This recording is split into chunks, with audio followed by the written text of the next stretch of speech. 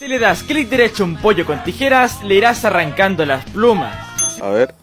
Ahí chamo, lo maté. Si te atrapas de ti mismo con una caña de pescar, podrás lanzarte por distancias absurdamente grandes. A ver. Realmente.